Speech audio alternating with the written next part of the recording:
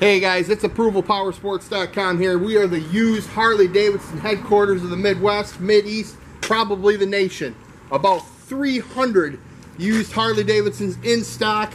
Today I'm going to share with you a really cool one. It's a used 2010 Harley Davidson Street Glide Trike for sale with only 10,926 miles. Vivid black paint with bright chrome, all stock, no modifications. Nice clean trike, needs nothing. Buy with confidence, guys. This thing's only 19.9.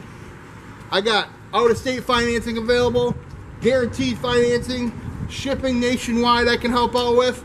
Give us a call today and you can ride today. It's approvalpowersports.com.